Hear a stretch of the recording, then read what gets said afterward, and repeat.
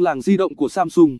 Thêm một lần nữa, Samsung lại bị thử thách, thị trường bán dẫn tuột dốc không phanh, kinh doanh tấm màn gặp lỗ, căng thẳng Nhật, Hàn leo thang khiến cho lợi nhuận của Samsung bốc hơi quá nửa trong quý 2 vừa rồi, không còn con đường nào để đi.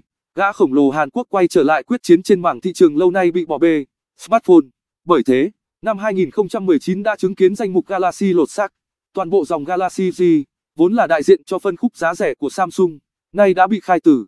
Dòng Galaxy A thay đổi cơ chế đặt tên và chỉ trong vòng nửa năm đã có tới 5 sản phẩm ra mắt trên thị trường. A30, A40, A60, A70, A80. Phân khúc cao cấp không chỉ đón nhận thêm một thành viên mới để tăng sức hấp dẫn với người dùng hạn chế kinh phí mà còn vươn tầm lên tận 2.600 đô la Mỹ với chiếc điện thoại gập Galaxy Fold. Không khó để nhìn ra cái giá Samsung sẽ phải trả khi thực hiện cuộc cải tổ này.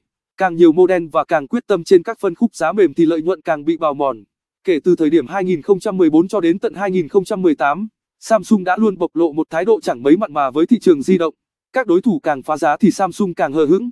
Danh mục Galaxy Z và Galaxy A từ năm này qua năm khác vẫn tỏ ra đặc biệt kém hấp dẫn về mặt cấu hình hay khung giá. Lý do đơn giản là bởi, càng chạy đua cấu hình thì lợi nhuận càng giảm. Samsung đã tự cho mình quyền đứng yên trên cuộc chiến smartphone khốc liệt. Bởi sự thực là, khi ấy đứng yên sẽ mang lại nhiều lợi nhuận nhất.